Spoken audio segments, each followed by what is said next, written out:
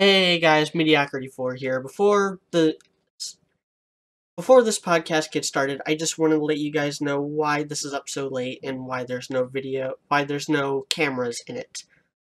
Uh so the night that we were recording this, which was Wednesday night, um things were going on at my end to where that prevented me from recording this podcast from my own computer. Um things were going on at this very room that prevented me from being able to use uh, my computer the, the way I normally do. So I had to use a laptop. Uh, I had to use my dad's laptop to communicate and to record this, and never again. Never again. Um, the laptop is Windows 7, and I don't know how or why, but about an hour and 25 minutes in. It was a I, got pulled up pulled up right now. An hour and 26 minutes and 45 seconds in. Uh the the entire capture just crashed. Um so the last I want to say like 15 minutes of the podcast just poof lost forever. Um on top of that, despite my best efforts, like Discord was running fine on my end. I had almost like no lag at all except for like a couple times and I mentioned it uh within the podcast itself. But when I went back and looked at the capture, the cameras froze. Uh for pretty much the entire thing. It was the video was basically unusable. Um and so I had to wait until we can uh till Robert Dude and I could get back together and kind of just talk for the last 20 for about 20 minutes um le- probably less than that uh, i'm recording this little prelude before we actually go ahead and do that. But uh it, it cuts off um when we're talking about uh vader finding out about leia and from there we we talked about like the the conclusion how everything turned out uh the special editions and our final verdicts. So without further ado, here is the very, very late Beyond podcast Star Wars Return of the Jedi. Hello, and welcome to the Beyond podcast. We are talking about Star Wars Return of the Jedi. I am Seth Rich's Vindicated Corpse Mediaocrity 4. I am still sick. I am dude. What the heck? And I have a bit of a rant to make this episode. I am Robert. Ooh. So we are talking about Return of the Jedi, which is the third uh Star Wars movie. It's the final in the trilogy. And it's also the one that had really big expectations and a lot of money thrown at it right off the bat.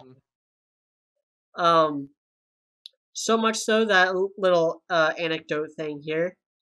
Um, it was Fox was so nervous about spoilers and leaks and people harassing people on the set that uh, everybody working on the movie when they were filming on the uh, Fox backlot anyway, yeah. uh, wore like uh, logos and stuff for a non-existent movie called Blue Harvest, yep. which which was its own like which was allegedly its own like sci-fi fantasy thing. Which you know, I, have read the synopsis. to be like a, I think it was supposed to be like a horror, wasn't it? Or yeah, yeah, so, something like that. Yeah. Like some children record so, something I think. Yeah, might actually have some viability one day. It, you know, yeah. someone and, get on it. And they also uh, gave false scripts to certain actors who they thought uh, were going who they thought might leak stuff. One, including one that revealed Lando as the last hope. So, but yeah, or that would be different. Yeah. but yeah, basically, if they felt like an actor or a set member might uh, make some, yeah, might reveal, some, might leak something, they gave them a false script with just enough to tell them, you know, what they need to know until the day of shooting the different things. Yeah. And then wasn't didn't it, then Blue Harvest become the name of the uh, Family Guy parody? Yes, Yeah, yes. the and that that so yeah. if if you watch the Family Yeah, Guy parody and you have no idea what that is supposed to be a reference to, that's what it's a reference to. Yeah. Uh, so and this So, yeah, also they, wa- had they went all out avoiding any spoilers here. So yeah. yeah, and they also had a title change. Uh, partway through production, it was going to be called Revenge of the Jedi. Then George Lucas was like, "Revenge is kind of a strong word. I don't think the Jedi would do Yeah. that." So he Yeah, named it the Je- Return of the Hate, Jedi Jedi. hate is a, it's s- supposed to hate is a strong word, but he really, really, really doesn't like the Emperor. yeah. Yeah. yeah, pretty much. Yep. That, Yeah. by the way, unpopular opinion, that song was way better than Hey Delilah. Just saying. Uh, wh- which song are you talking about? Uh, Hate by the Plain White T's. That's the Oh. song. Uh, that's oh, the oh, yeah. quoted. I'm not. I'm not Yeah. familiar with Plain White Tees. I don't know that much of their stuff. I just know that one. Gotcha. I know a few other songs. I know a few other songs. They're actually not bad, but yeah. The only one I know is uh, "Rhythm of Love." you don't know Hey There Delilah. That's like Well, I know. Hey, I know. Hey Oh, there, okay. Delilah, obviously. But Okay. Okay. So be, that that's that's why I the- was like, what other song? that's the Yeah. assumed one that everybody knows. Gotcha. I, I think they also had a song that was like one, two, three, four, five, or something like that. But I, I don't know. My sisters would know. Their lyrics aren't very good. Their their their their music's actually not bad, but their lyrics are kind of repetitive. Anyway, Yeah. So back one thing. Star Wars. So one thing we touched on this in the previous podcast, the whole merchandising aspect of Star Wars. Well, Yep. Uh, this one, Return of the Jedi, is when that kind of got a little out of hand. And my theory on why it got a little out of hand uh, has something to do with something that Return of the Jedi had that A New Hope and Empire Strikes Back did not. Ronald Reagan as president. His whole restricting, theory. well, the whole thing about uh, Ronald Reagan's view on art is that he took away a lot of the restrictions that various um, bureaucracies had on entertainment. Uh, the big one being that uh, in the 70s and stuff, you couldn't um, make a cartoon or movie just for commercial purposes. And thanks to Reagan's policies, we got stuff like Teenage Mutant Ninja Turtles, He Man, Transformers, all these cartoons and all these movies that existed only to sell toys. I mean, The Wizard, terrible movie as that is, over, well, it's a cult classic, whatever.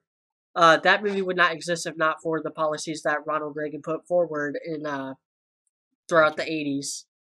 And then the 90s. being ca- an, uh, yeah, wonder if being an actor had anything to do with that and stuff Um, like that. I, like- I'm sure it did. I think it had more to You do know, with. with I so think it had more to yeah. do with uh his whole business sense with the whole uh trickle down economics. Give give businesses more money and then hope that it trickles down to all the workers, which works in theory, but only if those businesses, those businessmen are good people. yeah. Wait a minute. So Reagan's responsible for like a massive amount for like a lot of TV then basically because of that. Yeah, yeah, yeah. That That's really Yeah, You got you got rid of uh like the seventies are widely considered the worst decade for animation, and a lot of it has to do with um I'm blanking on the the censorship bureaucracy that was around at that time. It was like it wasn't the MPAA. MPAA came later, or they came out around that time, but MPAA is, is still around. Uh, Yeah. but it was it was uh oh he also got rid of uh the comics code that like really dogmatic comics code uh that made all Really? the comic books in the 50s it so been- boring and all the comic books in the 60s and 70s so tame like that that's so what that's what that well the reason that Batman got so camp. yeah uh but yeah that's why in the 80s you had this resurgence of characters like daredevil and punisher and these like and, and these deconstructionist things like watchmen and dark knight returns Yeah. I like the Dark Knight Yeah. Returns. But Yeah, a, lo- a lot of that is because of uh not so much Reagan himself, but his policies, his sense, uh, like the the role of the president is to kind of set the tone for the country for the time he, that he's in office. And that was Mhm. that was Reagan's entire thing is taking away restrictions on businesses and trickle down economics. Gotcha. And now that you've had your obligatory history lesson with the with the semi professional teacher, uh, this movie takes place. I want to say three years after Empire.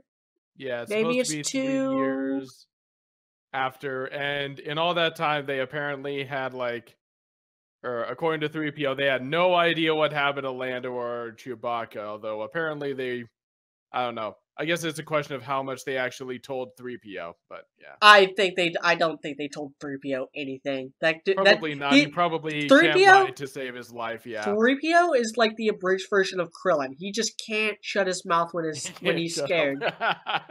yeah, can't shut Yeah, up when he's scared. Fair enough. That's definitely something I want to. I'll bring up probably more when we talk about Jar Jar. But man, three PO is annoying as shit, and Yeah, I He- he really Jar gets Jar grating That in- much. He gets grating in this movie. I think it's because, Yeah. like, with the first movie, he was kind of the one of the audience surrogates. Like him and R two were the audience surrogates. uh, and he then in Empire R2's Strike- translator. In Empire Strikes Back, uh, the joke was that he was annoying, and so a lot of the comedy came with how annoying he was and how annoyed Han was at him. it. Uh, but in this one, they give him like the whole um, Road to El Dorado. It's good to be a god thing. yeah.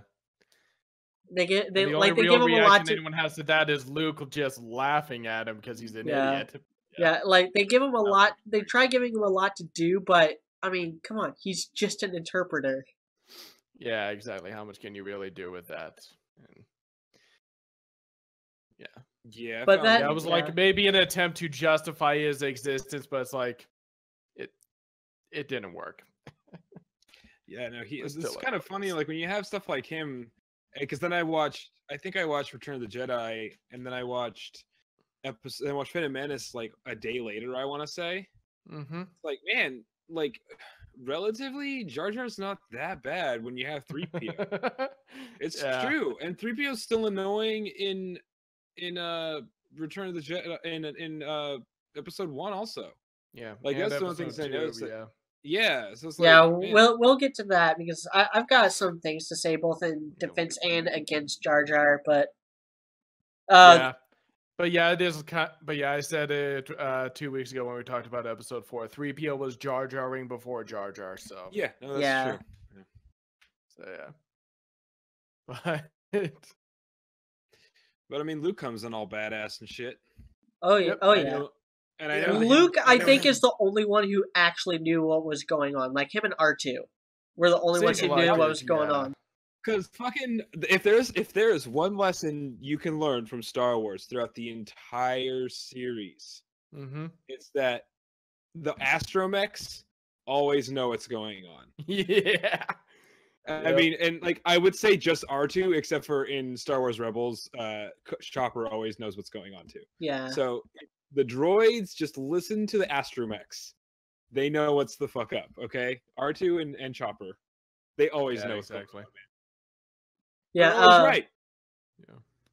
And that kind of brings me to the main kind of talking point. Well, this is the return of to Tatooine, and the Yeah. reason why they chose why Lucas chose Tatooine is because he felt like there needed to be some closure there. And there's actually a deleted scene where Luke goes back to uh, Obi Wan's hut, and that's where he constructs his uh new the new His new lightsaber he's sporting in yeah. this. Uh, which Mhm. Oh, that's cool. I didn't, which yeah, is that scene, which is been kinda which is a scene that would have been pretty cool, but I really prefer the way that they revealed the lightsaber in the Yeah, theatrical yeah, yeah. version. yeah, a lot more climatic and exciting. Like, oh my god, she has a new lightsaber! yeah. Yeah, and Was apparent yeah. and apparently in that three year time skip, Luke became a badass. Yeah, Yep. you got good. Well, at least they gave him Yeah. a decent amount of time this time. I want to say, Yeah. like to Yeah. actually train, because this was more believable for me because I understand. Like my guess, is, like maybe he did talk to Obi Wan and Yoda a little bit. I'm sure. I'm assuming, and so he probably had some sort of guidance. And even if he Yeah. didn't, like they sort of imply that Luke's so good that it's not that out Yeah, of the that realm of that possibility that Force, he's yeah. gotten this good that this quickly. yeah, So Well, and the Force is all about feeling anyway, and it's not like. I mean, he he's been in the Rebel Alliance this entire time, so he's probably like really physically fit anyway. And e- even Mhm. when he was starting his training on Dagobah, he was doing like freaking flip kicks and stuff like that with Yoda on his Yeah. back. Yep. Uh, yes, indeed. but yeah, I don't think he went back to Dagobah is the thing. Like that's something that always kind of confused me as a kid because, you know, growing up, I assumed that like in between he went back to Dagobah to do more training, but then like But actually then why it- would it have taken him so Well, long to ask Yoda not not Vader yeah yeah listening to the dialogue, it's like they they haven't spoken since Empire Strikes Back, have they? yeah. But yeah, and so but yeah, it is kind of the uh, I don't know. You do get that line from Luke where he says, uh, you know, there's nothing or where yeah, on that has that line about, you know, I think my eyes are getting better and Luke's kind of like, eh, there's nothing to see. I used to live here. Just- Yeah but- yeah. Luke's just so done with Tatooine. Yeah. Which is pretty like I mean that is accurate to even how he was in episode 4, you know, he was bored out of his mind and stuff, so yeah. But Yeah. But the point I It's- it's but the point I wanted to like he still doesn't have, it's not like he has fond memories of Tatooine. Yeah. So the point I want to make in bringing up Tatooine here is because Tatooine is the first planet we've seen twice. mhm. Every, every other planet has been new. Like this is the first time we've returned to a planet, uh, and it's not the first. It's not the last time we'll see Tatooine, and uh, even the last time we've seen Tatooine, it's not the last time we've seen Tatooine because Jakku is basically just another Tatooine. yeah, that's Uh, my one. of- Only that's one gonna be of my- son though. Yeah, it's that's gonna Tatooine, but with one son. biggest That's, that's everyone's complaint my- with Force Awakens. biggest complaints with Force Awakens. E- even like, pe- okay, even people who love you're the- even people who love the movie. I understand Yeah. but why do you have to make a carbon copy? Oh my god. Yeah, Yeah. that was pretty infuriating. Yeah. Well, the point I wanted to make is uh that this is the third act of this uh saga, this trilogy, Yeah. and so it has to wrap up loose ends. Uh, and there's Star Wars is deceptively simple. Like, there's not a whole lot to like really do. Like, they had to rescue Yeah. Han. That like they had to rescue Han from after the last episode. Um, Yep. they Luke already got a hand back at the end of last episode. Like, so that's resolved. His And so the only thing, so the only thing left to resolve is finally taking the fight to the Emperor and defeating him. Yeah. Slash Luke confronting Vader and Resolving completing his, daddy training. issues. Yeah, resolving his yeah, resolving his daddy issues. Yep. So there's a problem I've noticed with a lot of third acts, and this I think Return of the Jedi is actually actually suffers from it the least out of a lot of major trilogies. And Mhm. that is the death by expectations. Uh because the first two movies were so good, so groundbreaking, and so legendary Yeah. there was really no way Return of the Jedi was gonna compete. Yeah. It, it's been like with the with the three year release schedule, which I think is a great release schedule. Like it gives enough time to actually let the movie sink in, uh, without like just being easy cash grabs. Uh, and with also with and single also year, and also without waiting too long. Uh, Mhm. which that's actually my biggest complaint with how Disney's handling Star Wars is that they're it's Star Wars. You don't need to have it every year. Yeah. Once every three years is plenty. Once every two years with the modern Hollywood and how like quickly we process things now with the internet.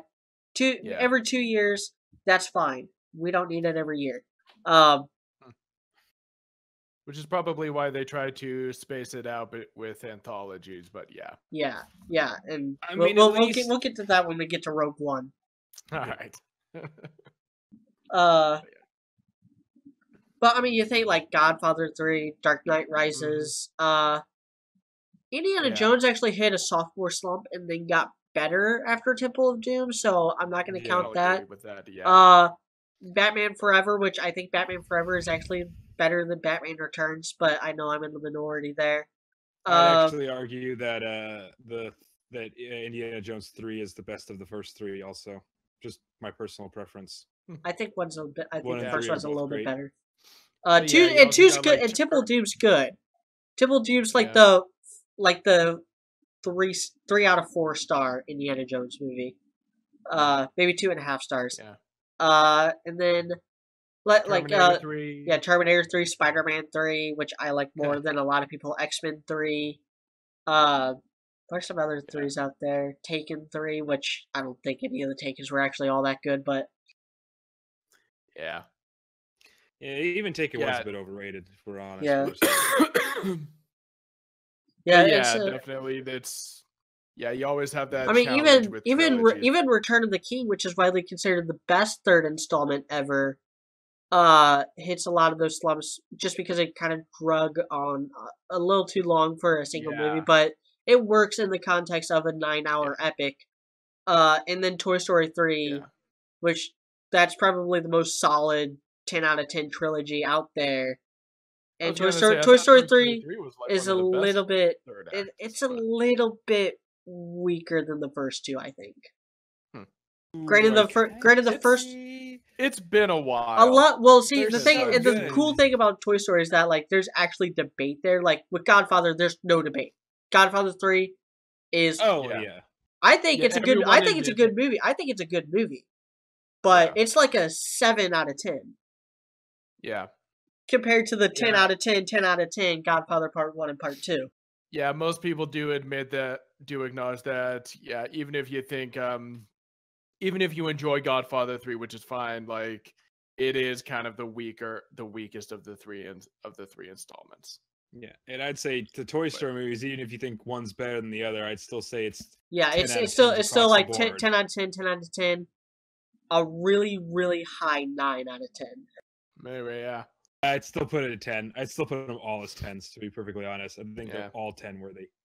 I'd need to do Yeah. a more. and then and then Star Wars and then. Star Wars is is ten out of 10, 10 out of ten, and then I'd say a solid nine, not not a high nine, just a solid nine.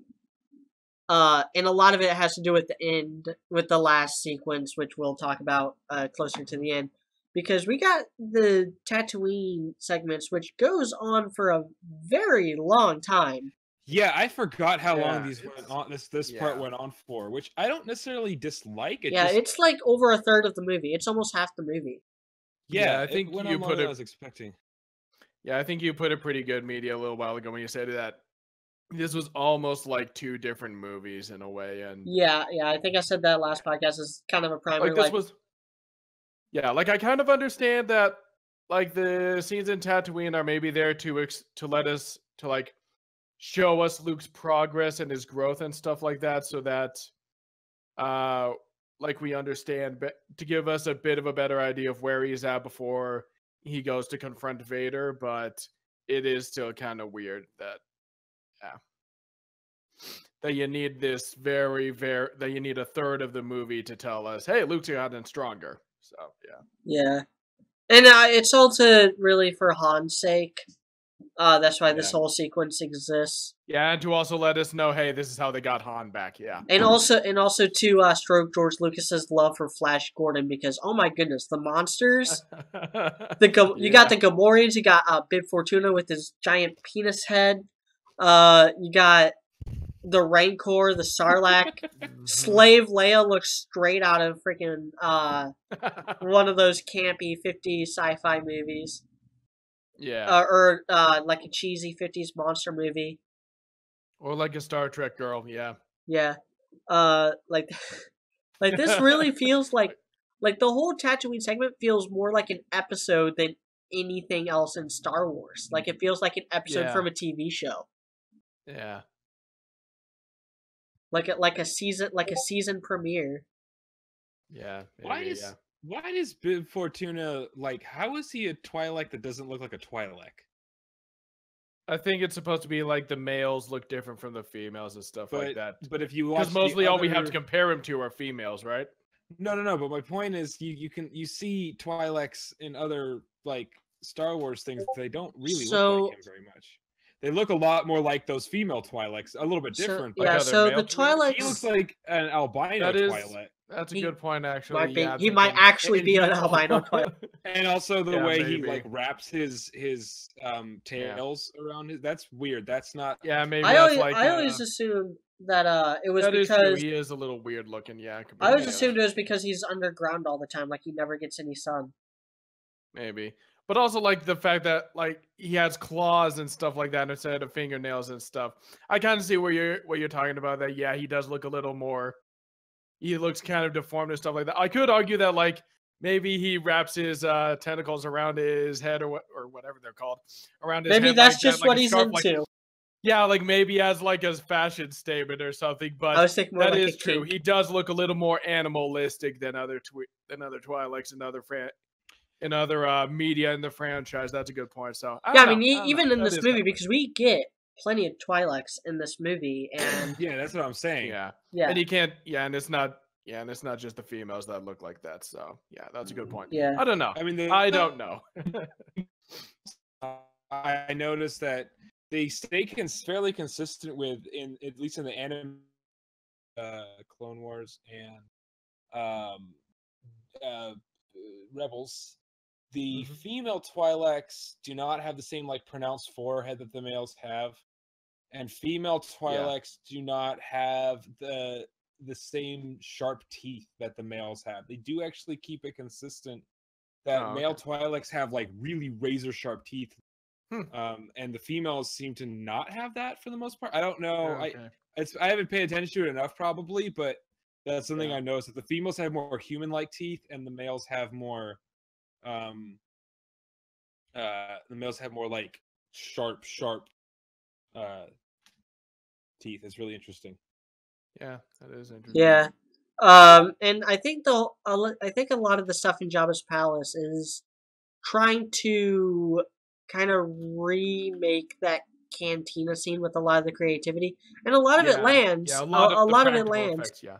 Um, a lot of the uh, these are really interesting looking creatures. Got like the freaking blue elephant dude jamming on the keyboard. Uh, you got the like guy on Jabba's lap, whatever passes for a lap on that fat slug. Um, got Jabba himself. You got the Rancor. You got the Sarlacc. You got all this creative stuff.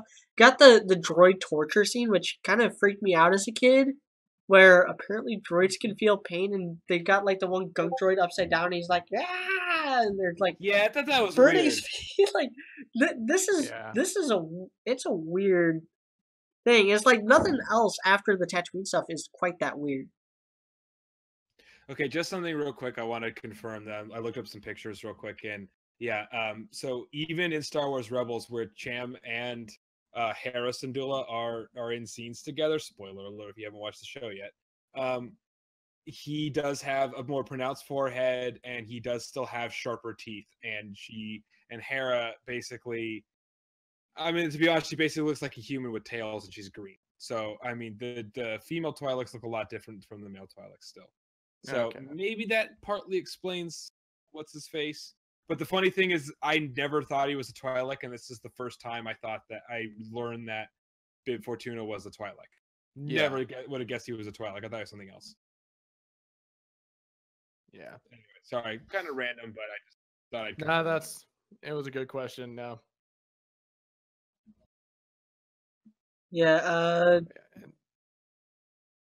yeah, I think a lot of this adds, a lot of the Tatooine stuff adds to this being a looser script. Like, a lot of the stuff in Tatooine has, like, nothing to do with the stuff going on with the Empire. Jabba's a cool villain in his own right. It's gangster. He's obviously inspired by Godfather. I wonder if Lucas was making fun of Francis Ford Coppola. I think Francis Ford Coppola actually created the character just to be like, hey, you should put that in and be like, hey, it's like Godfather and Star Wars. They'll love it. People will laugh.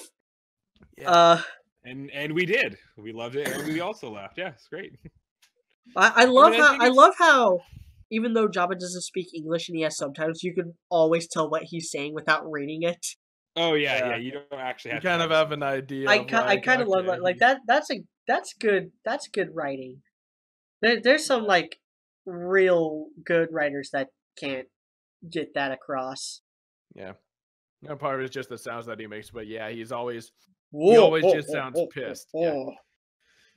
you're It's sort of the amused. thing of- Oh, It's sort of solo, the- fire, oh, Wookie. You're pissed. It's sort of the thing about how uh Vader can emote without having a fucking face, that kind of stuff. Yeah. Yeah. Um, In this but I case, mean, I- it's technically four guys emoting inside of that thing, but yeah. That suit. But- but I mean, I I, th- I think I never I, I don't know some I think some people I complained about that aspect of this film, but I kind of liked it because it gave us a time. It gave us.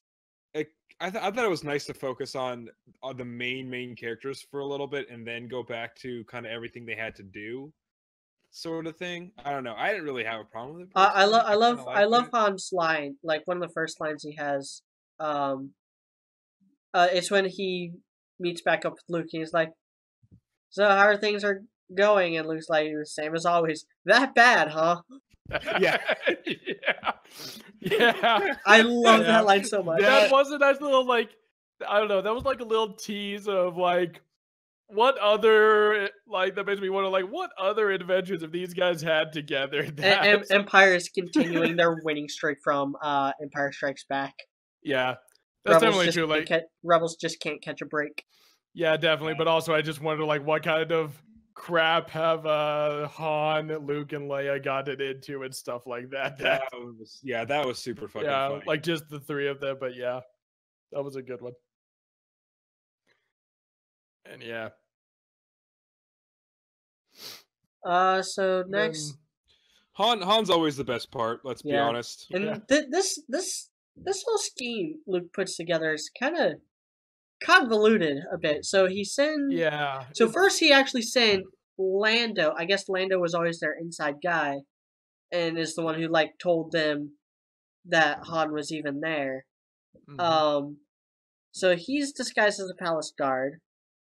Then he sends 3PO and R2 with a message, basically being like, "Free Han Solo, or I'm gonna wreck you." yeah. But as as a gift of goodwill, I'm giving you these droids to be your slaves for a while. Uh, probably assuming that he would not take the deal, but yeah. would take the droids Yeah. anyway. And then he sends Leia, disguised as a bounty hunter, with Chewbacca to send him in prison and get inside, and then free Han and kiss him and reunite, and then get captured. He was very specific about the kiss him part. and then get and then get captured. So Leia becomes sexy slave Leia, and Han becomes roommates with Chewie again, and he's also blind for a while. Mhm. and then and then Luke finally shows up and starts wrecking house. Uh, without his li- without even the lightsaber, like he fights that he takes on that Rancor without a lightsaber, yeah, with just uh, some he bones, chokes some out- rock. Yeah, and oh my god, he is so cool in this. Yeah, that scene was awesome. I He just walks the in, is just like chokes out the Gamorrean guard just by like pointing a finger at them, yeah, and starts Oh, yeah, using no, his they- mind trick on Bib Fortuna. And Jabba's like, "Old, old, old Jedi mind trick." yeah. and it is nice that like he tries it on Jabba, and Jabba's just like, "Not working, bro. That's not gonna work on me." Yeah, and Jerry Johns pointed this out when he reviewed the movie a few years back. But like, there's that scene where Luke uses the Force to grab the blaster off the guard. He was ready to shoot Jabba. He was ready to end it there. Yeah, But then he fell into the Rancor pit because you know the Force is kind of fickle in this. and Jabba's quick on the draw. Yeah, Yeah. Uh, and then he fights the Rancor, which is like one of my favorite Star Wars monsters. That thing is Uh, terrifying. Holy shit. And it gets a lot of mileage in the expanded universe to where like every planet has Rancors. yeah. my favorite thing is still is still that guy who like uh, is like owns it as a pet or whatever. And he's like all sad when the Rancor dies. Yeah, Right. Yeah, th- um, so I think what I might be- I might be That wrong on this. that I appreciate. I might be wrong on this, but that guy, um, the actor was one of the set builders who made uh the animatronics for it, and so when they crushed it, that might be an urban that might be just an urban myth like tales from Tumblr, but I I wanna, been I want to genuine bel re- I that may- want to believe that he actually was crying over them destroying this thing that he probably poured hours of his life into. Might have been some real emotion in there, just a little bit. I'm sure. I don't know. I- I feel like they probably did tell it, but they were all like, you know, actually, Oh, try. yeah, you're, it's okay for you to cry when we do this. It's okay. but yeah. Uh yeah, so Yeah. the The- and then from there, so Luke defeat kills the Rancor, then gets like arrested and stuff, and then him, Han, and Chewie get taken on the skiff while Jabba's on his party barge, and I think Yep. that's actually what it's called. It's called Jabba's party barge. Uh, and get taken to the Sarlacc Pit, just- which is this that just just sounds this like a bad video game equivalent of the Star Wars Holiday Special.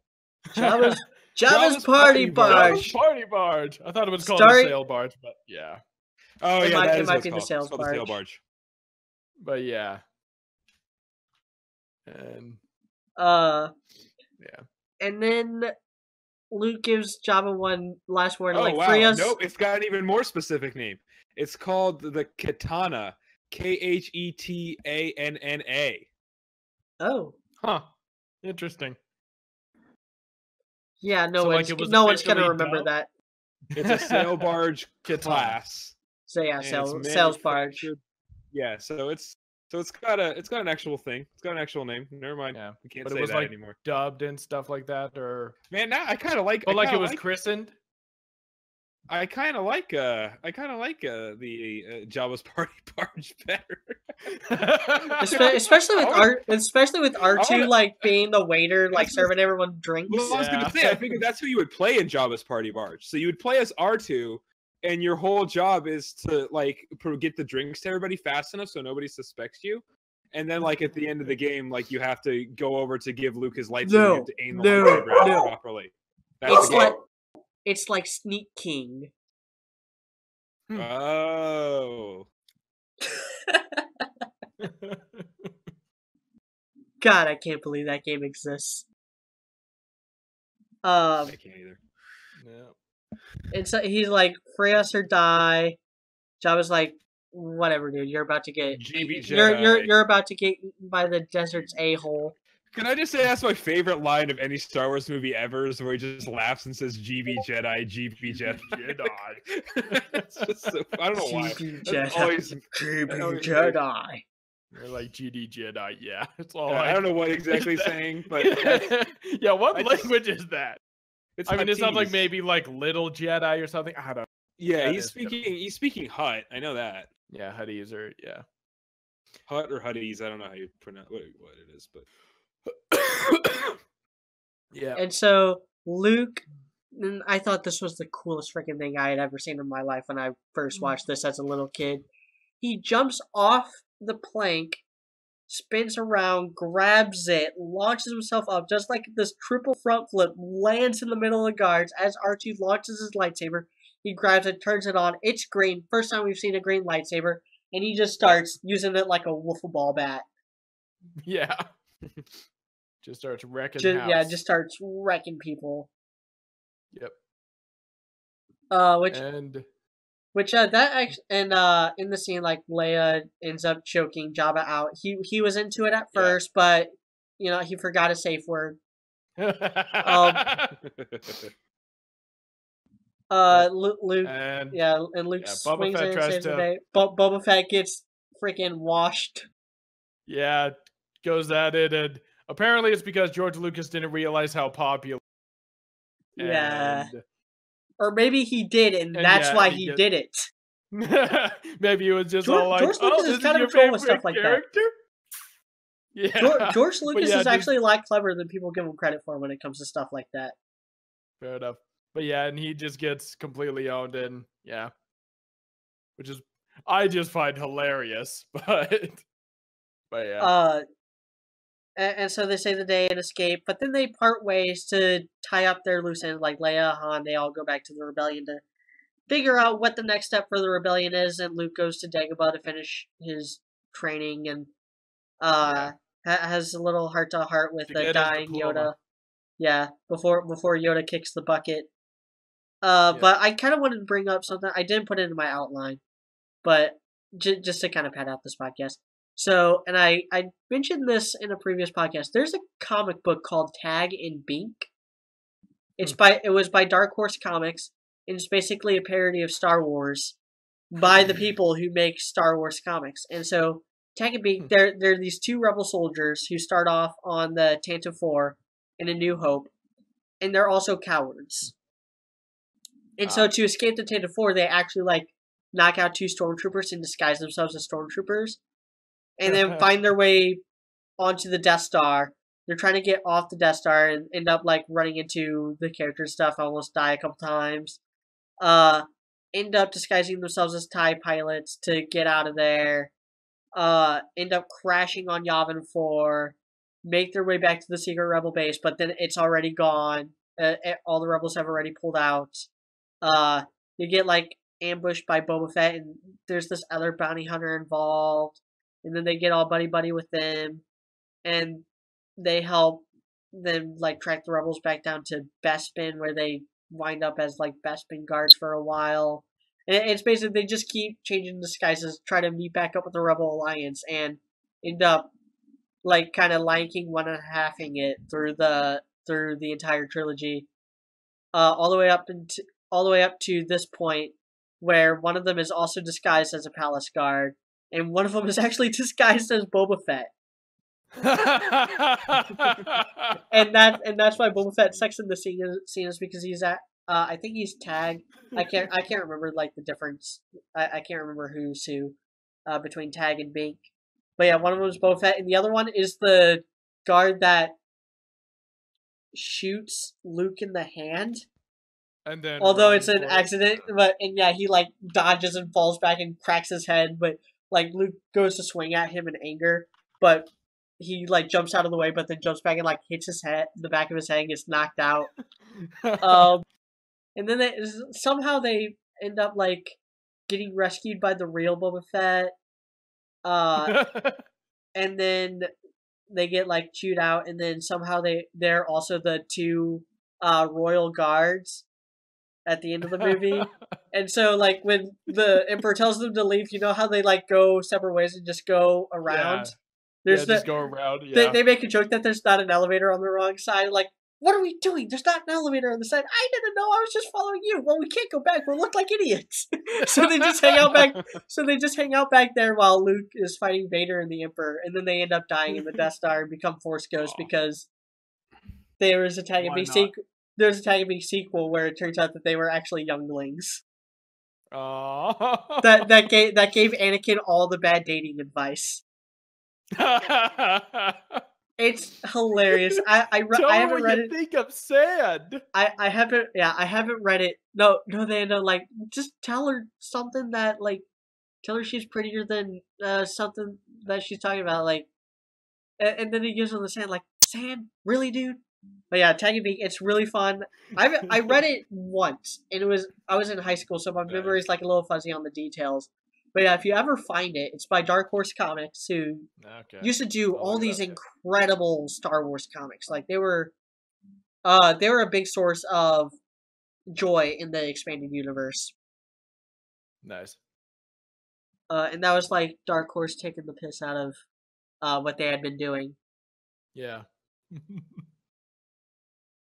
Uh, and so back to the back to what really happened.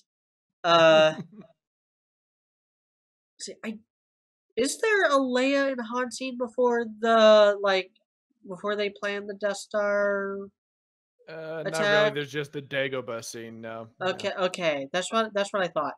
Uh, so the Dagobah scene, we find out that yes, it, it is kind of confirmation tying up that loose end that we talked about uh last time. With Yeah. there's no reason why Luke would actually believe Vader, so he gets confirmation from Yeah. Yoda. Yes, Yeah. and then Obi Wan gives him like from a certain point of view.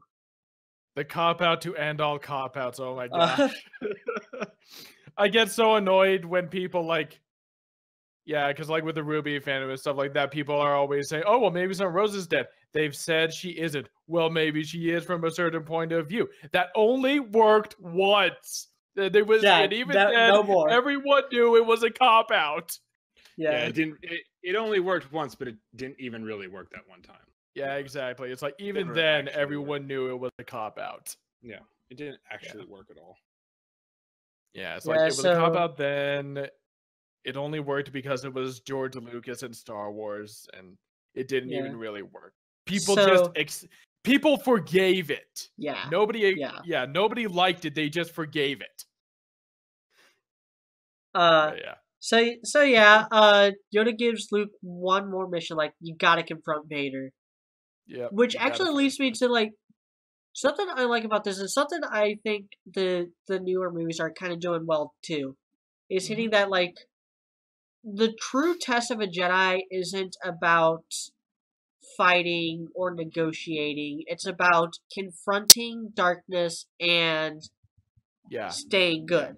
And so yeah, that, that's confronting the darkness within. Yeah, and in Luke's Yeah. case, this is yeah, Darth Yeah, Vader is very much that darkness. Like as we saw in the cave, Darth Vader is a potential reflection of what of the darkness within Luke that he has to confront here and deal with. Yeah, yeah. Uh, Luke is confronting the darkness because he believes in a little thing called love, and is just listening to the rhythm of the heart. I believe in God.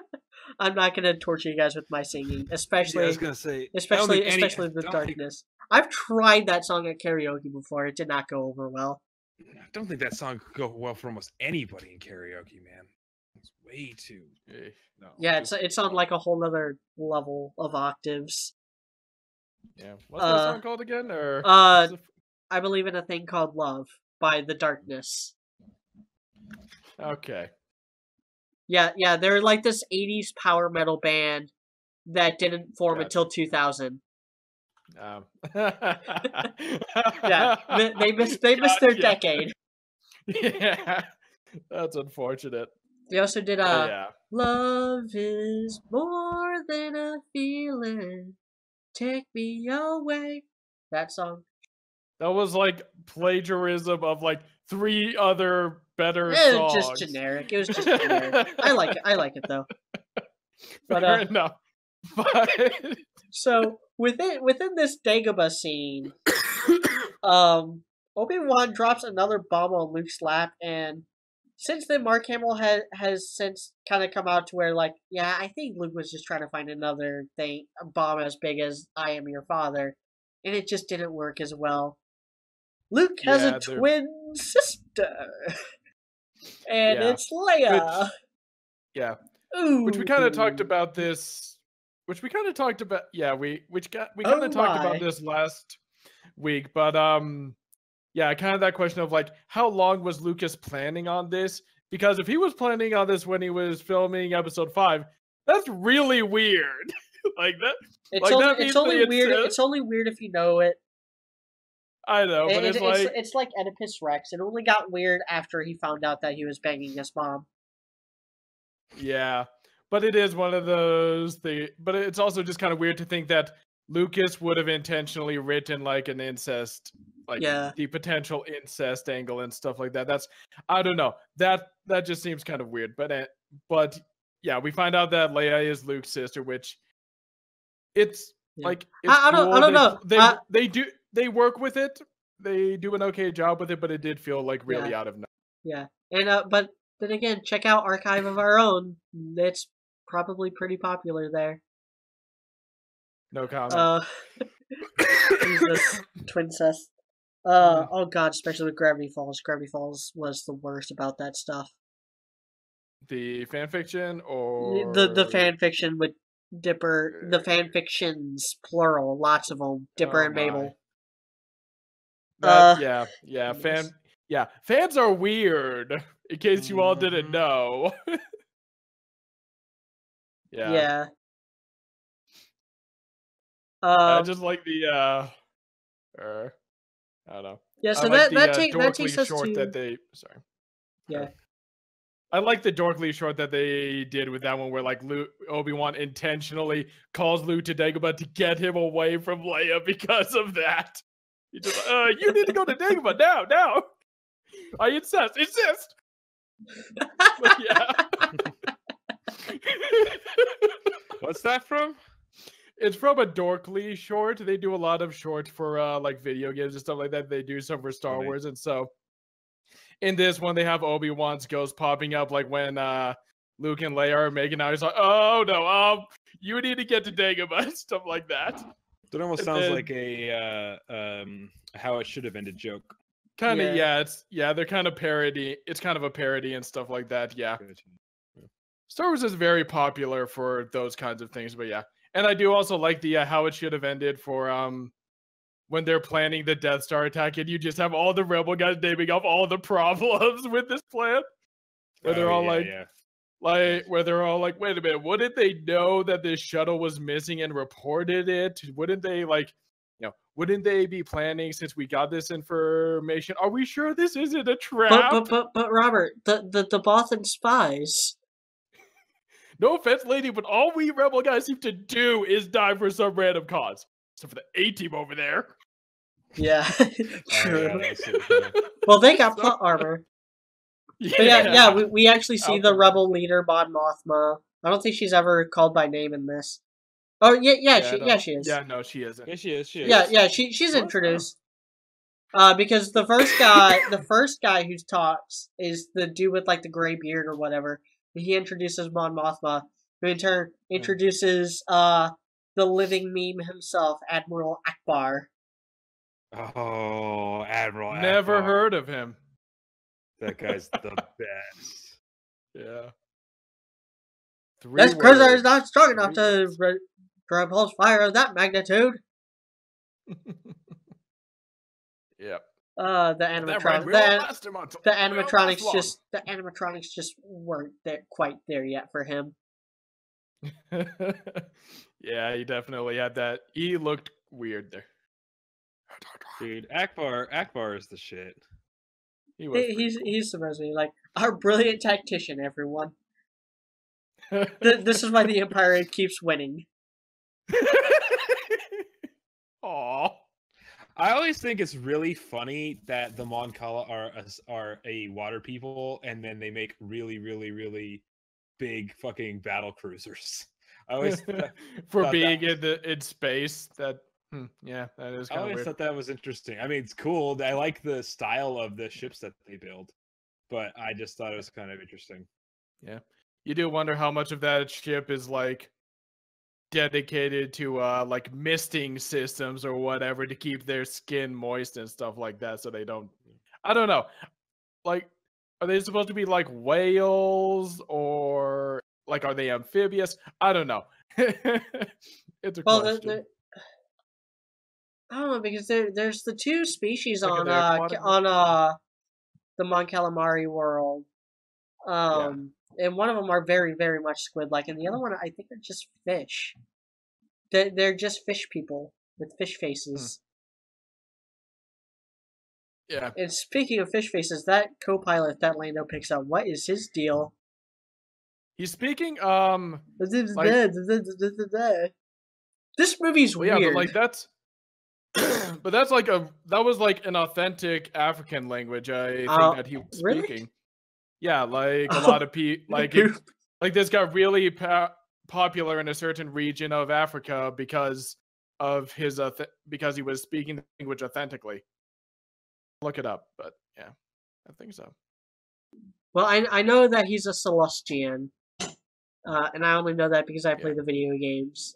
And Sullust is kind of popular in the video games for some reason, even though it's supposed to be like this toxic waste dump. Uh, and it's also mentioned in here that uh, the rebels actually have like a massive force gathering on Sullust to try to draw the Empire away, and the Empire just does not fall for it. Hmm. Like they, they end up like sending their fleet to Sullust and then having them turn back around so that they can sandwich the rebel fleet between right. Yeah. between the Death Star and the yeah, they yeah they asked yeah. the emperor um yeah, I'm they asked the emperor, you know, what about this uh, fleet gathering on Sullust? They're just like, don't worry about it. They will come to us. Yeah, The rebels will come to us. yeah. The deflector shields talked will be this quite yet, but- operational when your friends arrive. That's my. You don't have to be I a fucking dick love about that. it. yeah, Because you know that's like him laughing But- as he's talking. pretty much. But yeah, I d- we yeah. Can we talk about that? That the Emperor is amazing and Ian McDiarmid is incredible. Fucking. He was like what thirty? He was thirty when he made this, Wow. So- something like Yeah. that. He was not. He was fairly not young, old. yeah. He was not old. No. Yeah. He he was he wasn't like twenty, but he wasn't old. I mean, he, was wasn't like- even. He wasn't even super duper old in in in episode. no, I mean he's he's only like se- he's only like I think he's like seventy now. Sev- He's seventy three Yeah. right now. Yeah, I mean, they had yeah. to So try to he, make he him would look he would have been older, like, what? He would have been like Yeah. what? Uh, 50, 50 something, fifty nine in um Yeah. yeah in, in Phantom Menace. Yeah. been in his fifties. Yeah. He was. Yeah. So so that would have put him at like kind of so so yeah he would have been in like his mid thirties when he was doing Return of Yeah. the Jedi. Um. But and yeah, they, they you- gave they give him a lot of makeup and he Mm-hmm. he acted all the way through that makeup and i'm pretty sure that the death star has that huge chunk missing because ian mcdiarmid just chewed that much scenery on his way there like that's just all the all all all the missing parts are just all the scenery Yeah. that uh ian mcdiarmid chewed through Yeah. And you just love that, like, even before he turns up, everyone you get the sense that this is a horrifying person because yeah, yeah that scene where Darth Vader is yeah yeah the guy, first the first the first scene is actually darth vader arriving on death star mach 2 yeah, and it's like the emperor is not just Yeah. forgiving as I am, and you just Yeah, see and you he, see you like you can almost see all the like imperial officers that got choked out last film like playing through his eyes as he's just like yeah, we'll have you our, just see we'll his- have our efforts. He's yeah, a little. you and- and see his little, pupils shrink and then just be like, the Emperor's coming. Like Yeah. you're thinking, like, okay, this. Yeah, you know, like, okay, this is someone even more terrifying than Darth Vader, and that guy is horrifying. Yeah. Yeah, Yeah. Dar- Dar- like- Darth Vader's ha- Darth Vader has a leash. Very few people can hold that leash. Grand Moff Tarkin was one of them. The Emperor is the one who made that leash. Yeah. It, and that's the thing is like he's he he overacts a bit, but it's in the best way possible. Like I mean that Oh, in the most is. complimentary way possible. He's a stage actor first and foremost, yeah, very which you much so. do. I mean, I have seen professional stage plays like on Broadway, and you do have to overact a little bit Yeah. more. I mean, there's overacting, Yeah. overacting, but you do have to. I mean, to be louder, you have to show things more because Yeah. people can't Yeah. really see. So Yeah, I've been there. that I've been kinda- on kinda suit- some that. Yeah, So You have to this role, like the way he does it, it just it's so perfect. The way he's like he's it's a little bit over the top, but it works. I he really is very theatrical, and it is. he's not theatrical to the point where it's joy. I don't think it's theatrical to the point where it's campy. I think it's theatrical to the point where it does actually it's- make it more intimidating and Yeah. more grand in a way. Like he's Yeah. he almost Yeah. feels like he's more grand than he is like He's an pure, emperor. unadulterated evil. Actually, I think Because you- in you thi- gotta think- more like he's more manipulative and like a grand master emperor kind of thing than he is just like the most evil thing that ever existed. Yeah, You know? um, George Lucas likened him to a puppet master. He likened him to uh, Faust, to the to uh, Mephistopheles and the Faust narrative, uh, Mm. especially in Re- Revenge of the Sith. Like the whole like the whole christening of Darth Yeah. Vader, George Lucas ripped that straight from Faust. Um, but the thing is, and you gotta kind of remember that movie acting is still fairly new. Like not not so much Yeah, as new as TV TV TV acting would be like the newest thing, but movie acting Yeah. is very different from any other kind of acting. Uh, TV Yeah. acting is kind of like uh, diet movie acting, and then, but Yeah. everything else, This like isn't- like in Ian McDiarmid is not a movie star. He is not a movie actor. He comes from the Shakespeare Theatre in London. He is more qualified to choose scenery than anyone else in his generation. Yeah. Yeah, and he yeah, Because this it, wasn't like, wasn't he like freaking uh Macbeth at at one point in I London? think so, Or some, yeah. something like like he's done a lot of Yeah. Shakespeare plays. He's done a This lot is- of like Faustian stuff. Yeah. This is not long after like yeah, in terms of like movie acting and stuff like that. This is not long after uh you had these scenes where people were getting shot and like taking forever to die and stuff like that, like throwing their arms in the air and just uh, uh, uh you know. Be- stuff like because they, they had to they had to like overact and stuff like that because yeah, you know the To the people the point no the, well the people in the nosebleed seats need to be able to see it, yeah, and also in, espe- especially in the time before talking about, cameras. like in movies, but yeah, Yeah. Uh, but that that's that's really that's very much the school of thought that uh, Ian McDiarmid comes from, and a lot of actors in Star Wars. Like George Lucas really likes his uh theater actors. Like uh, I know Peter Cushing, who is much more of a movie actor than Ian McDiarmid, but Peter Cushing Yeah. did a lot of stage stuff as well, and so did Christopher Lee. But Christopher Lee And did like freaking everything. Christopher Lee did everything from movies to theater to death metal to literally hunting Nazis. Yep. Uh, Yeah, he was a spy. yeah, he was a spy. Yeah. Yeah. Um and so yeah, Ian McDiarmid is a freaking treasure and he is the best part of this movie. He's the best part of Revenge of the Sith. Uh Oh, yeah. He is just yeah, he is amazing. and he is he is loving every minute of playing the master of all evil, the Oh, Star you Wars could tell, equivalent to the jet to the devil. Do yeah, it. pretty much. Strike him Oh, and by the down way, it was, take uh, your father strike me down and take your father's place. Uh, uh, no, strike me down and your journey towards the dark side will be complete. Yep. He's he has fun with it, man. It works though. It's it's Yeah. it's a hell of a lot of fun to watch. Yeah. Kill By the way, it was a Kenyan di- dialect you? that the Oh. uh, one guy was speaking. Nice. Hmm. Uh, but before that, uh, a lot of the really good stuff with the Emperor happens. Uh, we got a- we spent a lot of time on Endor before the battle actually starts. Uh, they uh the Rebel A team lands, um, with a uh, and they quickly encounter the natives. Yeah.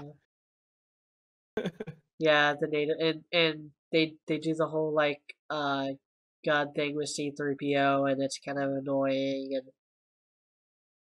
so I So- don't I don't actually have a problem with the Ewoks. The Ewoks are pretty cool. I do know I do realize that they existed a lot more for merchandising purposes and that they were basically giant teddy bears.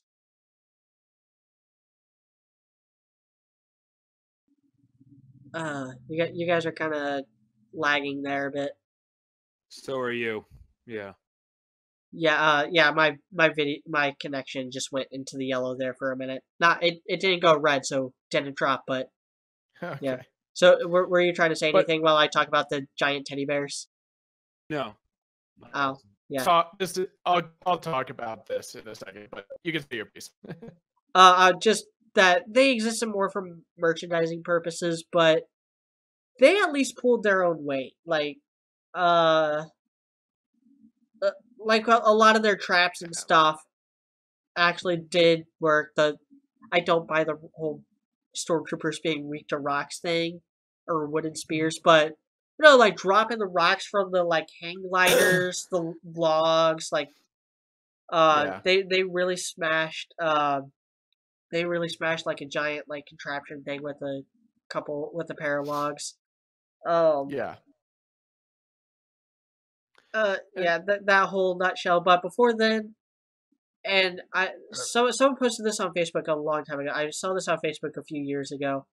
But the whole thing with like uh the Ewoks were apparently clever enough to capture the Rebel A team, so and they were about to cook them and eat them. Yeah. Like I get that they're supposed to be clever and I so okay, this is the rant that I talked about earlier. But so let me be clear, I like the idea of a like technologically inferior native uh species or race being able to beat the empire. I think that's a really nice touch. I think that's like a better allegory for Vietnam than aliens was. So I think that's a I think that's a I th- I think that's a good idea. I think that was a clever idea. My Er, and I'm even. Er, so my issue with the Ewoks is kind of two things. The first one is it could have been Wookiees, and I think that would have been a lot more interesting.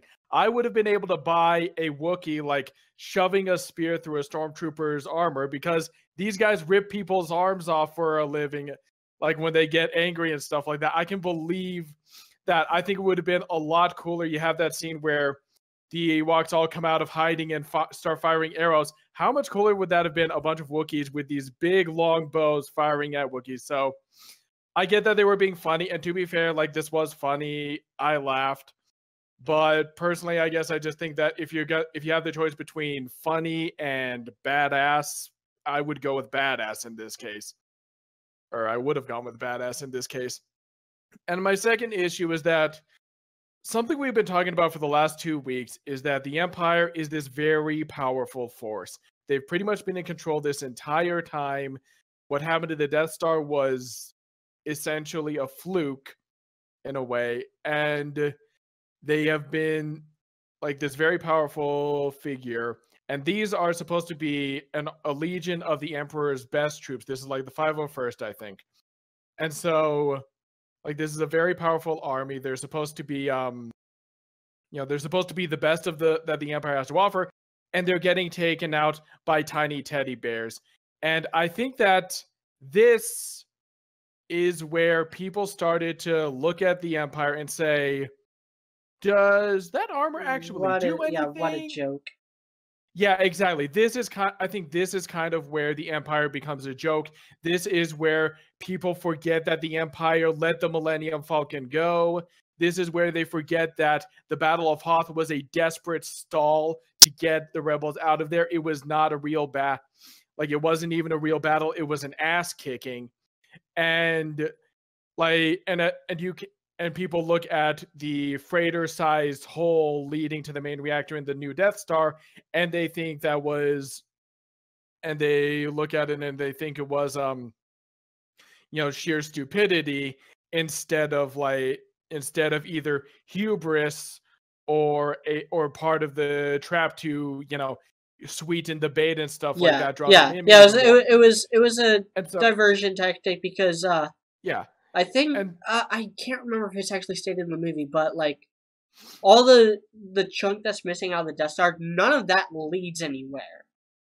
Like yeah, it's just exactly. all a bunch of close off hallways that would have just yeah, been more like, office built, yeah, more office space was like four times bigger than the old one, and that's because all it really needed to do was fire the laser to finish off the rebellion.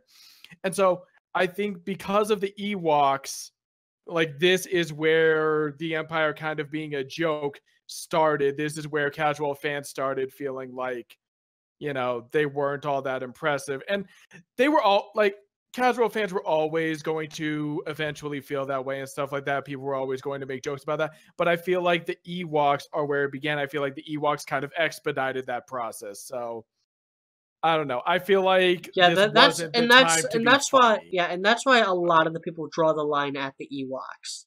I think yeah. that's the problem with the Ewoks is that just that was when they took it a little too far.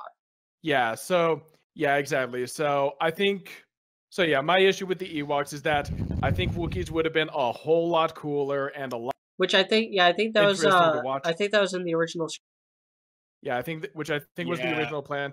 And second of all, that yeah, the Ewoks kind of made the Empire look like a joke. So those are I mean, that's my issue with them. Yeah, Espe- especially a few things that uh, especially since Go this on. is uh, according to the Emperor his most elite force.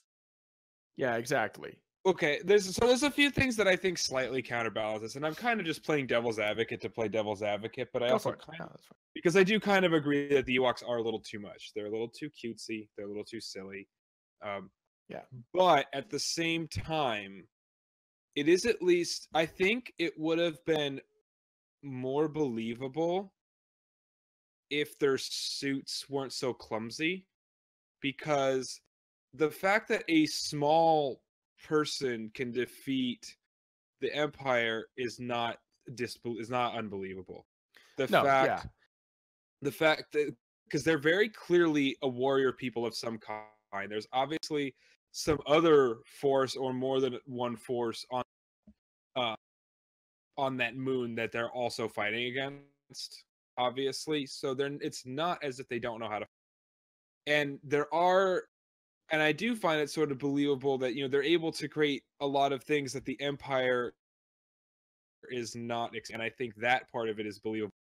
As well. Yeah. I mean, the fact that a bunch of logs trips up an, a walker that actually does make sense. Like, yeah, no, that kind Yeah. of makes fun of a walker's Yeah, kind of any stupid design, any right? anything they do with the Yeah. logs makes sense because Yeah, logs that are is very much heavy. the- the like when slamming the two logs together. Yeah, it's a very tree covered area, so it's easy to swing. yeah. When really it comes heavy- down to like Let's traps and just outsmarting them, I buy that. I think that's great. But it is true. I do not believe for a second that, and yeah, it is partly like the costuming and like the suits that they're wearing. I do like it does not like just the weak way that they're swinging these weapons does not look like they're actually gonna hurt anyone. Exactly. That's the thing that Yeah. bothers me. And and I actually also buy when they just when they're standing or flying and they drop rocks on them. I didn't believe that when I was a kid, but I actually believe that more now because you realize as you get older that the empire the the stormtrooper armor actually isn't really all that strong. So that Right. actually would hurt like fucking crazy actually. And that would easily knock you out or even kill you. A decent sized rock from that from from several from 20 30 feet up that That's fair, could yeah. yeah, that would hurt you like fucking crazy. Yeah, I think the late the dumbest thing is like yeah, when they just like go and attack them and start hitting them with sticks and like that's supposed to Yeah. do. And I don't I buy think that those 15, arrows did anything know- either. Those things were skinny and, And- weak. Now, yeah, how would the arrows have done anything either? That's another issue I take. Yeah. So there's other things I do, but- and and the fact Chewbacca was able to commandeer the um the uh I I love that the ATST. ATST. I I love that. the ST Yeah, and I kill- did think that was like, funny. but- You're you're, you're breaking something. up. That you're and it's also believable that they're yeah. You, you broke it. Yeah, you broke up there. Uh, Chew, it's also Chewie co- yeah. believable that that he's able to do so much with it because it's one thing that always bugs me in video games is when you commandeer an enemy ship, they automatically know that it's you and they start firing at you. Whereas Yeah. in this, it's actually done properly. Like they don't know who's in there, so the Empire is not going to start shooting at him. Yeah, and it does make sense So- that like Chewbacca would be yeah, like and it also is has the co-pilot reverse. for It the also Millennium has Falcon, the so I believe that he can pilot. I thought that yeah. was Oh yeah. yeah. And it also has Yeah, the reverse effect. I have no problem the- with any uh, of that. yeah. We talked. Yeah, Yeah, also has the reverse effect at the very end when he's like They- rolling up to Han and Han's just like, oh no.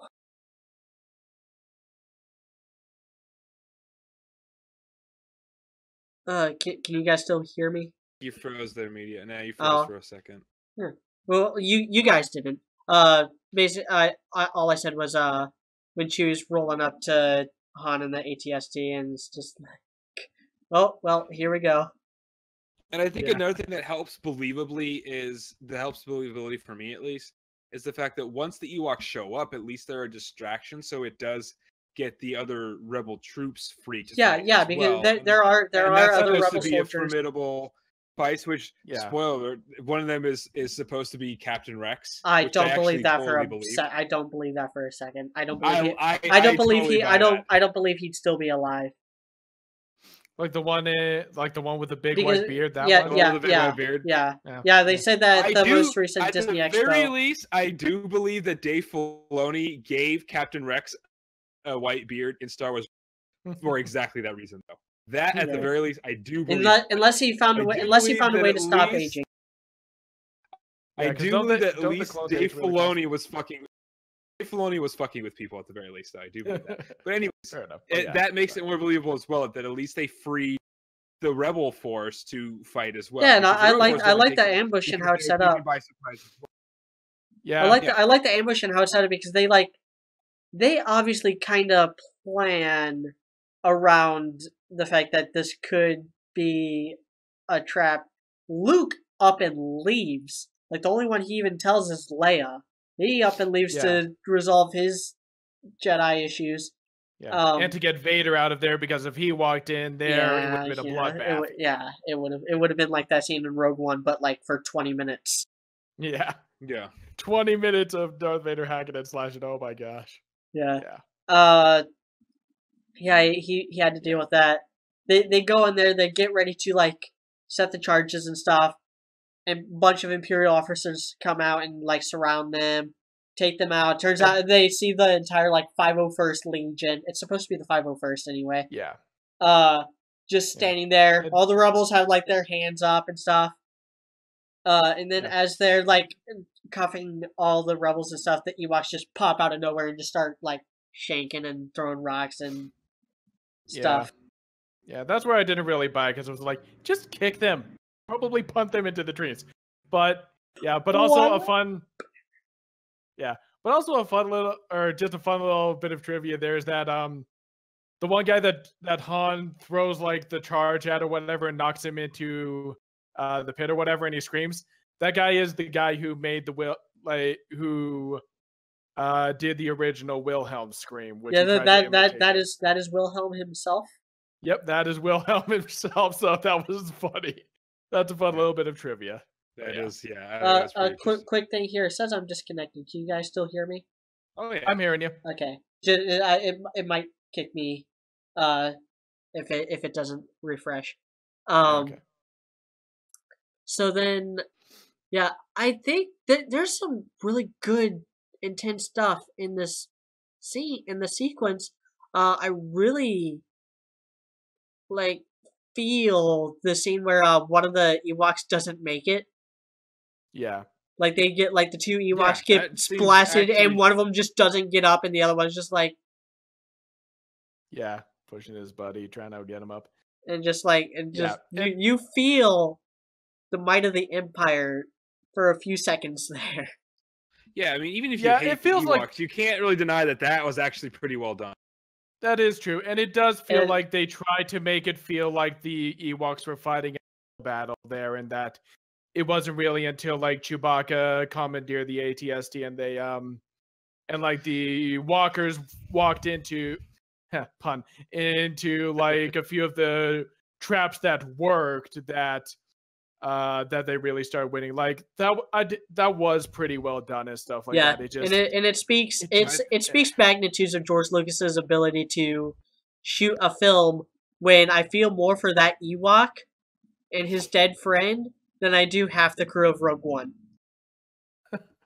wow Yeah. Uh Yeah. so is there anything else we need to talk about before we talk about the most important scene that I already have like half a video dedicated to?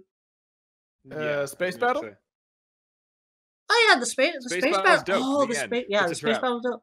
It, it it's a Sorry. trap. You got uh you actually got fleet on fleet combat. This is the first time that we had fleet on fleet combat. Uh the Death Star is Yeah. like picking I off like that is like picking off ships every like couple minutes. Um yeah they have to like take down And- they they're trying to the rebels are trying to like actually break through the blockade and try to like get out of there while Han's well well not Han Lando is trying to do like a De- Death Star trench run 2.0 and just taking the smaller ships and being like yeah.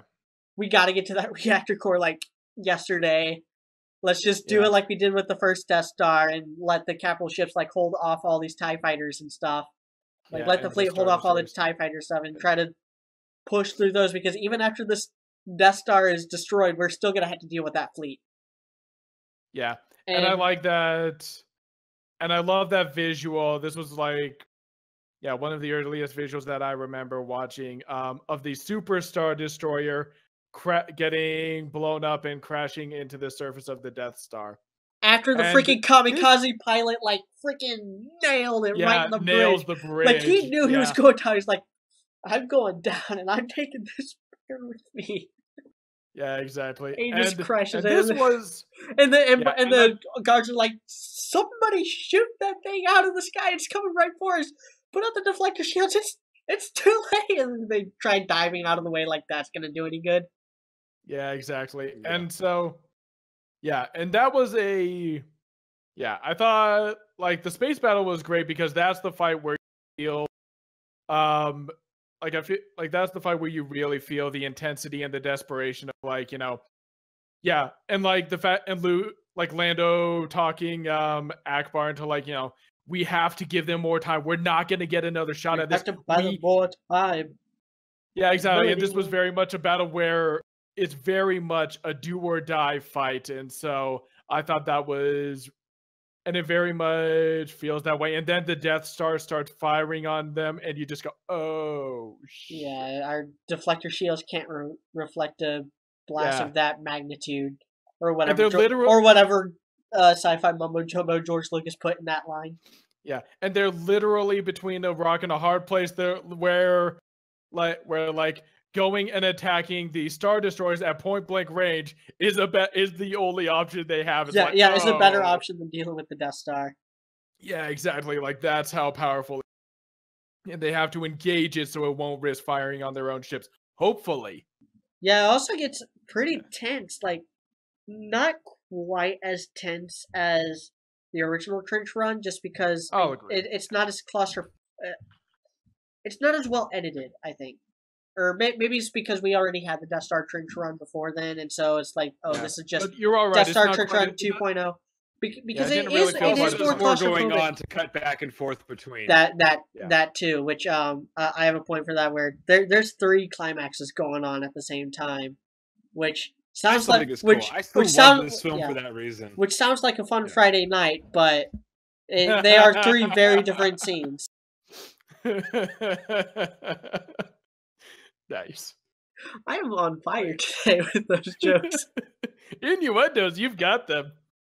uh but yeah I mean, yeah you got the stuff on Endor, above Endor, and on the death star Death Star. uh yeah uh, got admiral you got like it was admiral actually overall well balanced. Personally, I well and, and again really ju- just it. like it was just like uh last time it's all focused on Endor and it's all focused on the death star it's luke is in the death star Yeah. lando has to destroy the death star but before he can destroy the death star han has to destroy Han the has to shield shield, which is on Endor which is on the forest moon of Endor or uh the or uh the california redwood planet Yeah. Yep, that's where they filmed it. uh But and, is and it gets well really tense, especially like the last scene, like before, like at, they blow it up. Lando and Wedge just start booking it out of there. The fire from the explosions, like engulfing Tie fighters, uh, and then you Yeah. see like the cockpit view, and you see the flames like creeping up around, and then it cuts to the shot of it just zipping out with the explosion like around it and behind following it, Yeah. and then Lando just goes like, "Yeehaw!" Yep. Yeah, and then and then the also Sullustan is like, oh, oh, oh, oh, oh. The nub. Yeah. Yeah. And then can't- you and then everybody love just that moments like that. Like they do get that shit like so fucking perfect. Yeah, definitely. Is that that was yeah. Yeah, Lando or oh man, I'm sorry, I'm spacing Lando's on dope. the actor's name. But yeah, Lando is Billy Dee great in Williams. Dee Williams. Billy Dee Williams. his glorious mustache. Yeah, Billy Dee Williams and his glorious mustache are just fantastic in that battle. Yeah. Speaking of Billy Dee Williams, just because we might not ever get a chance to say this, but uh, I really love that Lego Batman movie had him play Two Face. yes. So just completely really off good, topic, yeah. but I have no idea No, how I'm gonna was, squeeze it that was into okay. a it was podcast. fantastic. Can I yeah. just put it real quick? Lego Batman movie was fucking hilarious, and it's Oh, the it was first movie that I can think of that actually has an extremely overt Calvin and Hobbes reference. And I had to pause the movie. I was laughing so hard. It has a lot of And references was and it? stuff. Or when was the Uh, Calvin and yeah. Hobbes reference? Or Hobbes reference because there's no reason for it. You're you're you're cutting out, dude, or maybe I am. No, I guess it's dude. Is that are you because you're still coming in fine, Robert? yeah, yeah, I'm Uh, not hearing him either. But villains with big plans to destroy the world and stuff like that. And Cal, he's like, why why don't they ever just go after more subtle, realistic bad guys? And then Calvin goes, yeah, that like they could write they could write letters to the editor and stuff instead. And then Calvin goes, "Hmm, I think I see the problem. And then Hobbes goes, quick to the bat facts.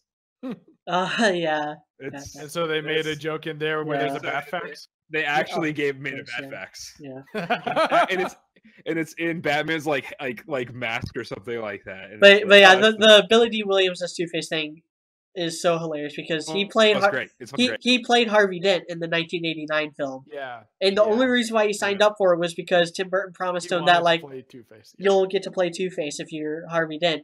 But then Tim Burton left uh, the entire franchise, uh, at, or at least as director. He was still producer, I think.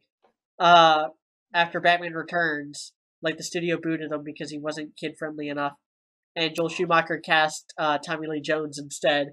And Billy Dee Williams' career never recovered. Aw, that is a shame.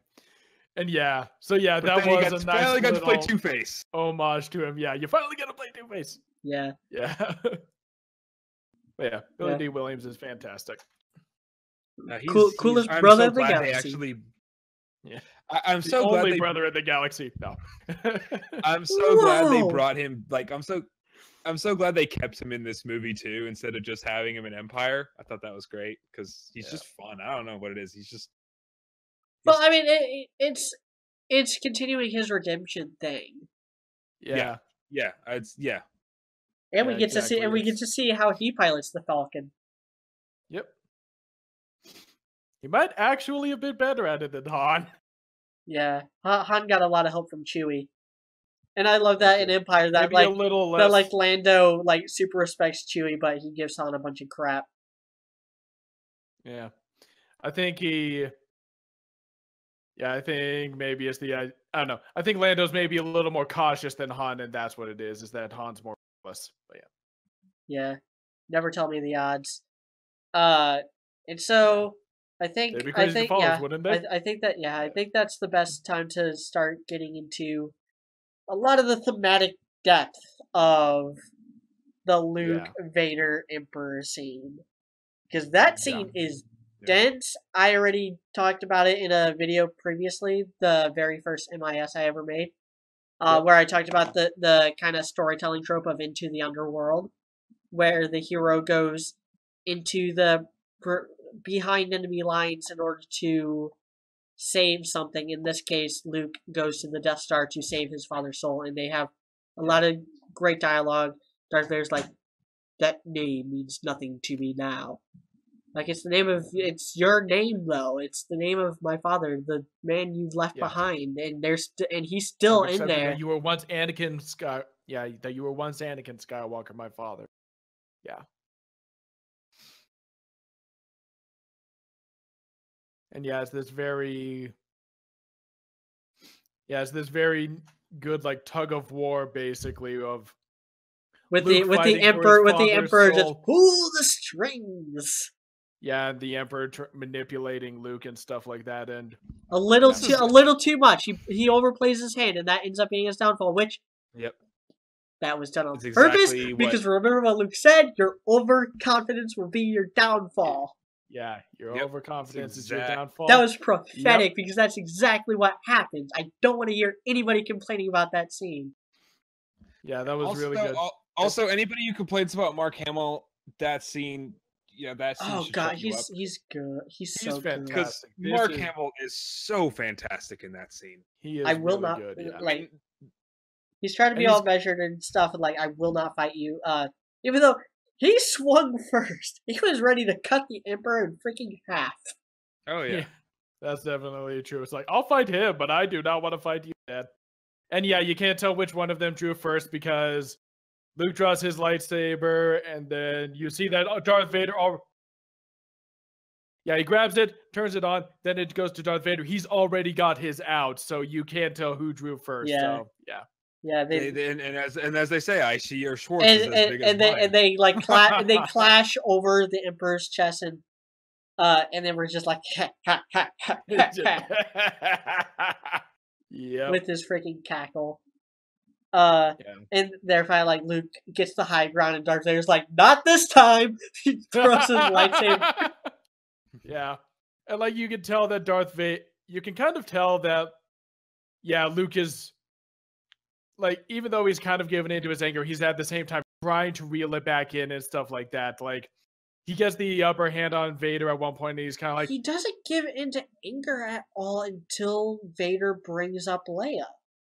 yeah, until he brings his yeah, until he brings his sister into it and then it's like and in that case you could very much argue that it's very much righteous anger stuff like that. That it's like, okay, you went there. It's not just about you anymore. It's about my sister. like because right before that, Luke is actually hiding under the staircase, I guess. yeah, he's and he's hiding and he's got like the the like ha- Harry half, Potter. ha- ha- half half shadow, half light, as Vader is Yeah. taunting him, like, so you have a twins. All right, so uh, uh, so uh, I'm, I'm recording now. Uh, at the beginning of this podcast, um, if you're watching this on YouTube, uh, I already explained what happened. Uh, the footage was basically unusable.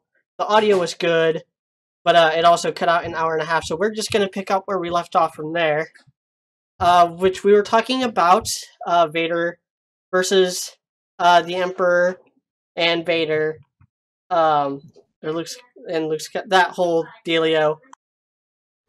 The whole most important scene. Yeah, thing? yeah, the mo- yeah the most Yeah. important scene, which I already have a video on. Yeah. Yep. Yeah. Which we didn't talk too much about it the first time because you already have a video about it. Yes, so- yes. Um, Yep. I mean, the important things are the important thing is they're making a lot of noise up there. Uh, the It's important Mark thing Hamill's is acting is yes, really Mark Hamill's fantastic, and when acting. People, Ian McDiarmid chewing up half of the freaking Death Star. That's why it looks that way. Uh, Yep. and like I, I love the whole symbolism with uh him after he beats the crap out of Vader and cuts off his hand. Uh, he sees Vader's mechanical hand. He looks at his own mechanical hand, and then the Emperor just refuses to shut his mouth and just laughs and blows it, blows everything. Like if the Emperor did not laugh, uh, Luke probably would have turned to the dark side. He probably would have finished the job. yes, that was the Yeah, thing. It pretty is exactly what Luke Yeah. said. Your moment of, moment of, cla- is your moment of clarity, which is Yeah, exactly uh, what Luke said. Yeah, that Overconfidence will be your hubris downfall. ultimately what brought him down. Yep. Yeah. And it was. Yeah. Just that moment. Yeah. So start, he started celebrating just way too soon. Yep. Good. Good. Uh, and so, uh, that there's also that beautiful, um, like transition shot where it shows like the Emperor shocking Luke, cuts to Vader, cuts to Luke, cuts to Vader, cuts to the Emperor, like goes back and forth from there, and yeah. and we've said this on the previous two podcasts, and I'm sure we've said it on this podcast already. Uh, just oh my god, how do they make Vader emote so much? Yeah. Yeah, they're really good about with that. no It di- was- with no dialogue, just the camera shots and the the kind of Yeah. physical acting on David Prowse's part. Oh my yeah, god! Like Va- that scene did not need the no that they ended up putting in on the Blu-ray release. No, it did not. No, the music that they had in the original was amazing. It did a great job of adding to it. They did not need the no. But yeah, and I- again, like I haven't had a chance to listen back to all the audio that we've gotten so far, the hour twenty something minutes that we have so far. But uh, Yeah. it it, it bears it bears repeating that uh, this was this was the first kind of like lightsaber duel that had its own musical score because in the previous lightsaber duels, um, Lucas thought like, hey, they the lightsaber the sound of lightsabers is kind of its own score.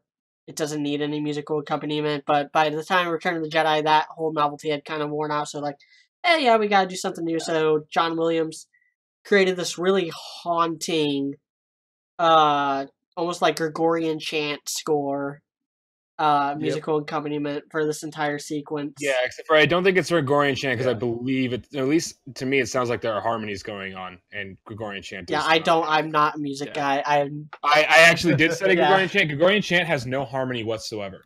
So even if there's Okay. multiple singers, they're all singing the exact same note. Gotcha. That's an important part of Gregorian chant. So, but I get what you're saying. It does kind of. Yeah. Kind of cut out there for a second, dude. Well, uh, Oh. oh, so Technical difficulties, no matter where we are. yeah, yeah. but yeah, we have that. But yeah, we have that very powerful moment of like, yeah, where Darth Vader turns on the Emperor, and then we have that the unmasking, which is like again, we've talked about just how human Darth Vader has been slowly becoming throughout this, and then we get to see his face, and it's torn up, but he does not look Oh yeah, like he he says like I want to look at you with my own eyes. yeah, and he does not look. And yeah, he takes off the mask, and it's Rod and it's Robert Shaw underneath there, and which I he I know I know David Prowse was pissed about. Yeah, but uh, Even though Robert Shaw is a great actor, he's mostly known for Jaws, but Jaws does not do him justice. I remember saying that. yeah, he was the best part of Jaws in my opinion. But yeah, he's he's done a lot of really great work, and but yeah, he just in that moment does not look at all like this mo- like what you would expect this monstrous figure from the last two movies to look like and stuff like that. So, and yeah, it just has that very tender moment where kind of has that moment of you get the feeling like realization of oh crap i had a daughter as well and kind of tells luke to you know tell your sister that you were right and yeah which is pretty fitting considering that if they like i don't know of all the people he's wronged he's definitely wronged leia a lot so wanting to Yeah, try and reach out for her to her in his final moments is also pretty Pretty love fitting. the. Is it is it how it should have ended? That did the. I have a, I have a daughter. I have twins. Wait Yeah, yeah, a it was- minute. yeah. Yeah. and he gets all excited yeah You said they died in childbirth. They she died of Lost. a broken heart. What? You bastard. That's why he chucks him. Me. Yep. Yep. yeah, yeah. That was that was just a nice ending, and even like I don't know, it's one of those thing, those really well done things. Like if you told people in um like back when episode four came out, if you had told people, you know, hey, in a couple episodes they're gonna hold a funeral for Darth Vader, and it's actually gonna be a truly tender moment, like I doubt anyone would have bought it, but it was. It was just a a beautiful moment. But yeah, that scene with Darth Vader's pyre, funeral pyre. But yeah, Yeah, it's because of everything they did in that last scene and and how good of a job the uh the the what is it the uh I guess that's the third actor at that time to play Darth Vader. yeah, The guy the Yeah, stage yeah. actor Ro- they got- Robert Robert Shaw. They got or uh there was David Prowse who did all the body work, James Earl Jones who did the voice, and then Robert Shaw who did the face or Shaw, in go. uh Return of the Jedi. yeah, I think we counted up there's yeah. like there's like how many people have portrayed Anakin? It's like those three plus yeah, Jake and, Lloyd yeah, and Hayden plus Christensen. Hayden Christensen like plus five or six people or something. plus uh Matt Lanter. Lanter's uh, Clone Wars Anakin is canon. Okay. Yeah. And if Matt Lanter also portrayed him in uh I don't know who portrayed him in Rebels. I think that was uh James Earl Jones. I think he voiced him in Rebels. Well, then but he, uh, well the mask came off at some point, so I'm trying to remember if they got if Matt Lanter ever did it again. Either way, Yeah, Anakin Skywalker in canon at this point. It's like 6 now, I think, at least. Yeah. But yeah, and I think a big part of that like is just the fact that they've this is an example of like a redemption story done well because a lot of time I don't know. I recently made a rant where I talked about how a lot of redemption stories feel like they try to get it all in in like one episode of a show or like even post mortem for a character trying to say, "Oh, you thought this character was a huge prick? No, he was actually really nice." I'm like the specific example I'm thinking right now is Itachi from um, Naruto, but like this is a really good example of a redemption arc done right because we start to see Darth Vader's humanity all the way back in Episode Five, and it just grows from there. Oh, um, by the way, fact check. Um, I was just looking up images and stuff.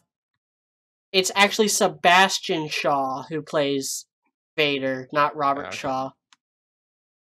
I don't think I don't think there's any relation other than the fact that they're uh, um you know Sebastian Shaw is only like 10 years older, I believe. Um yeah, and they were like ar- around the same period. and they both had the last name Shaw. So yeah, goof, goof on my part. Oops. But he did a great job. He did a Yeah. Sebastian Shaw did a Also, great job. also doesn't help that if you look up Sebastian Shaw, the freaking X Men villain pops up as the first. Yeah. uh It does. Yep. Yeah. That's true. That's what happened. that is exactly. I just did it. Yeah, just like Kevin Bacon. What's he doing? Bacon, Bacon number zero confirmed. It does exist. yeah. Uh, so Did, did we talk about how how awesome the is in space? at how, how awesome the what? The starfighter fight is. Oh I yeah, think I'm pretty. did. Yeah, I'm pretty sure because that would that would have been earlier. And did we cover the? We covered all the Ewok stuff. Yeah, yeah, Yeah, we covered yeah, all of yeah. that. That, that was Yeah, okay. As well, all right. That's some some. It's been a while now. It's been a week now, so I forget. Yeah, yeah. Uh, Lando going. Audience, "Yeehaw!" at happens. the end. yeah, Uh. Which is dope. Yeah. Uh, and then I guess that kind of takes us to the conclusion where they're all partying it up on Endor. Yeah. Which I feel like the um I don't know. I felt like the special edition some of the places that like I don't know, I feel like showing the galaxy wide celebrations I don't know, in some of these places first of all in some of these places like it felt like they might not be the places that would be celebrating all that much. And second of all, it felt like a really premature celebration because the empire is still out there and stuff. So Yeah, yeah, that that is something that the special edition added in. In the original, uh, it just shows the partying on Endor. Uh, and I think maybe Yavin. Uh, for some reason, I remember Yavin being on the VHS tape. Yavin or Bespin? It might have been Bespin. And, and Yavin might just be me mistaking ya- me mistaking the English forest for the redwood forest. yeah, You talking about the Yeah. Yeah, celebration part? Yeah. Uh, the Best- celebration on Bespin's- Endor I get, in- but Yeah, and- and I even I even wide. actually the one I that remember- makes the one that makes the least sense is Naboo. It's Coruscant, as and Coruscant. Well, Coruscant, you know, whatever. The, the, there's Well, al- there's always a, there's always a party going doesn't on mean- on Doesn't Coruscant. mean they like. Uh, that's true. Doesn't mean they actually like being controlled by the Empire. There, there might actually have been a lot. Yeah, and I mean, there, there's probably because it's you know, where the government is. There might have been a lot more control there than they would have wanted. So that can make sense. there- well, there's probably going to be a celebration on Coruscant regardless of who won, True. because it's just it's a a planet wide city. Surely, like, sure, surely there's a good number of rebel and imperial sympathizers within the planet. But uh, the main point of showing Coruscant in the special edition was to give like, hey, this is a uh, that and Naboo were like, hey, these are two planets that are going to be in the upcoming Phantom Menace.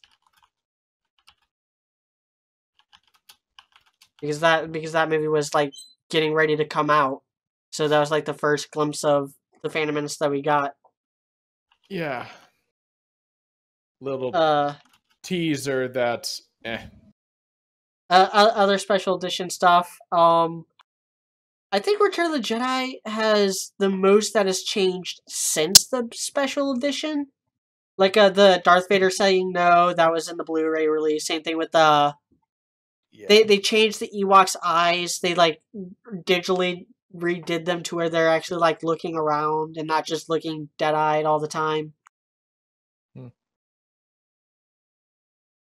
and they also changed up that like added in a dance number in uh yeah, yeah, Jabba's th- yeah, palace and th- stuff yeah. That was that was in the that was in the special edition. That was in the original special edition. yeah. Which saying Which- original special edition really sounds so weird bad. looking CGI. Not gonna lie. yeah, some CGI bad CGI and a really just weird musical number. Ooh, eat they da da da da da da da. Which is just more Yeah. like, hey, let's try remaking the cantina scene, but bigger. Yeah, Uh, more weird. I mean, what else? What else did they change in the special edition? The only other thing I could think of is that they kind of added to the Sarlacc, because uh, it it it was Yeah. just the pit with teeth, and then they added that weird, like, head thing, Penis bird thing, beak, penis, penis vagina, thing. weird thing. I mean, yeah, I mean, it was already like a vagina in the desert. Now it was a trap.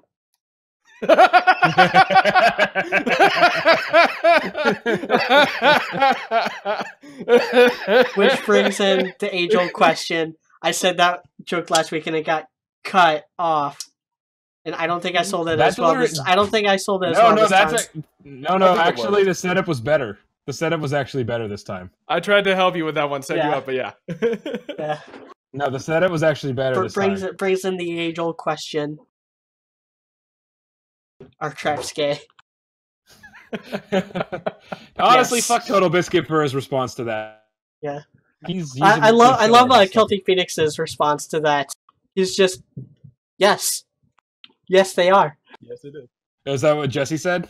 That's what uh, Celtic Phoenix said. Uh, uh, Huh. th- in his uh, Q and A video that he released the couple days ago, uh, There had to like like three, di- no, like three different because people, three different Because people. even, Jess, 'cause even Jesse didn't make a joke about it, and Jesse always makes jokes about things. So there must have been see that one It, it is a dumb internet meme Yeah, But because of that one an- because of that one anime character that's getting a lot of circulation. I just to be honest. Yeah, I don't, I don't really the, get it. The one who isn't. Yeah. Whatever. Anyway, that's old news. Anyway, the new news is uh is how Humble Bundle got bought by uh by IGN. How? No I. Or no, uh, Fox Fox is about to freaking be bought out by Disney. Oh, that too. That's right. Yep, Yeah. that's the other one. It's It's like how? Nice.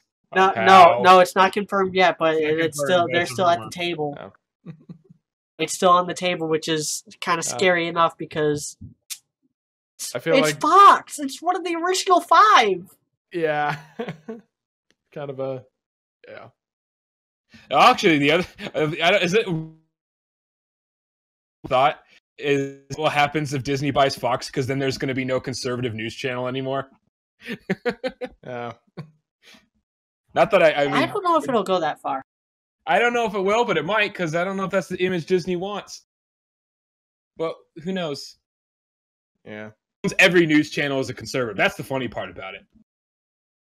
You know, the people that own CNN vote vote conservative because they want their money. It's uh, come on, think yeah. about it. Who own, Yeah. if you own CNN, you would not vote Democrat. No way. Couldn't imagine it. At that point, you just want your money.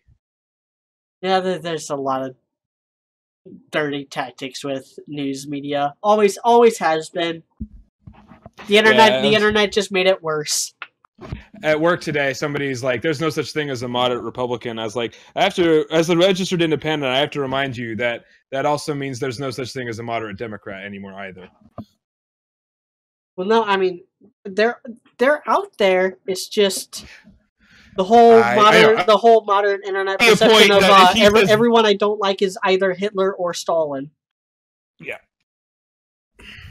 those guys, Yeah. they're pretty wor- history major, and as some of you Russian history, I can tell you that the worst social justice warrior, and as of right now, probably the worst KKK member, is not as bad as Joseph Stalin. Quite a few that one. million people to be as bad as Joseph Stalin. Just gonna say that. Yeah. Or Mao the Dong Zedong. I think he killed Chinese history though, so I wouldn't know. Yeah, Mao Zedong was trouble. Anyway, Anyway, of- so speaking speaking of being redeemed from killing millions of people, Darth Vader.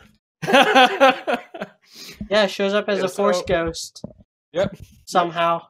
Somehow, and As- yeah, as- Hayden Christensen as Hayden. Christensen now, Yeah. technically. Yeah, Which was okay, the funny thing is, Which the thing is, I actually don't. That doesn't bother me, to be perfectly honest. Of all the things that bother me about the things that Lucas retconned, hashtag Han shot first, but that doesn't actually bother me that much because I could honestly see an argument either way for like how he would be re- like re- his redeemed state or whatever would be.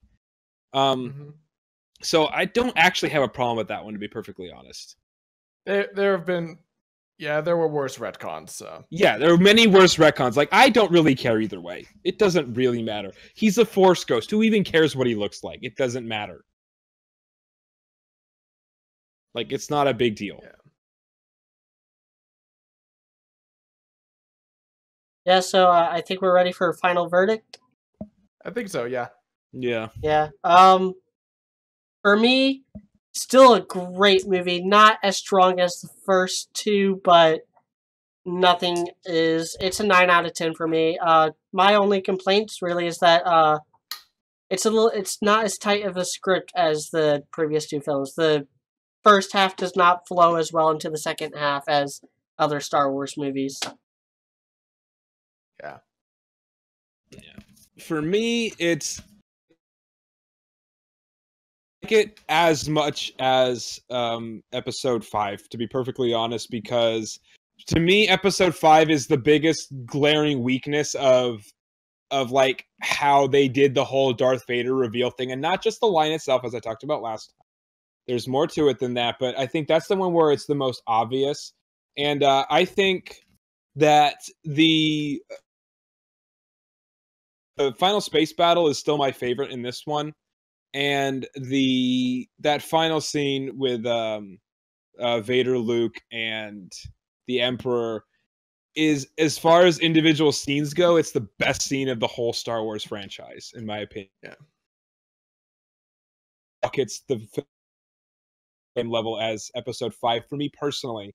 I know that technically I couldn't rate it as high because of the e the the Ewok as much as I don't despise the Ewoks, there are th- things that it just doesn't really. So otherwise, it would have been like the exact same score. I think it was like a nine point five. I think is what I gave um the other one. So it's like a nine for me. Also, maybe.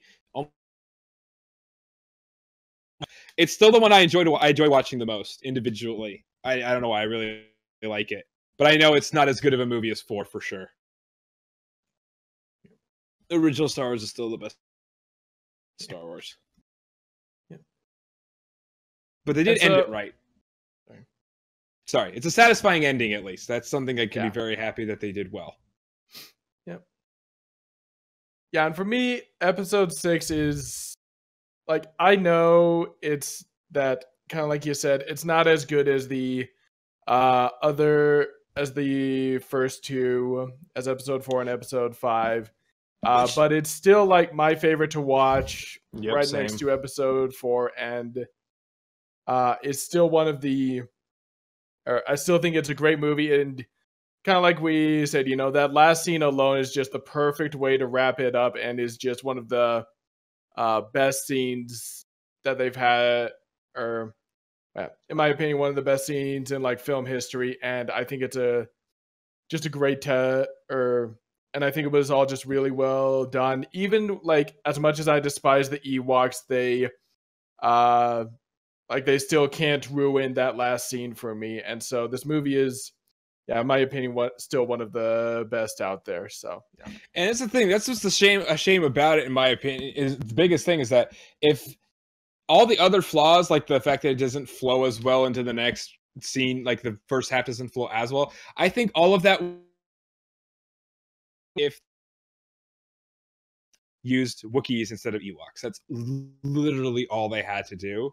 And I think this movie would have been almost as good as the other ones. You wouldn't have so many people that kind of mark it down as much. I think that's what I think the biggest shame is. Is that just that changed so much. If they just use Wookiees, that's it. Yeah. yeah, like yeah, just those subjective things do keep it from yeah, like yeah, objectively it is kept from being as good as episodes 4 and 5, but it's still really good. It's still great. It's still not like I wouldn't call it like a major drop off, like where people say, "Oh, you know, this film," like you know, they get really say that because it's really just the Ewoks that let it down at all. And uh Yeah. So I mean, otherwise, it's not like the whole movie is a big letdown. It's the, yeah, no, the ending is still extremely satisfying. That is yeah. something that's a really big deal that they got right. Yep. All right, so I think we're ready to shut it down for now. I think so, yep. Um Yep. I'm not gonna really do plugins, uh just because, you know, kinda wanna wrap this up so I can. What's the next video Yeah. for the plugins? yeah, yeah. Watch watch our Phantom Menace podcast, which will be up later today from when you're first watching this. so- So, yeah, Yep. it'll probably already be up. That one's gonna be fun. Yes, actually the yes, of all the Star Wars podcasts, I think that's the one I'm looking forward to the most. yeah. yeah, I'm I'm looking forward to it. So, Yeah. ha- have a good day to you all, viewers. Bye.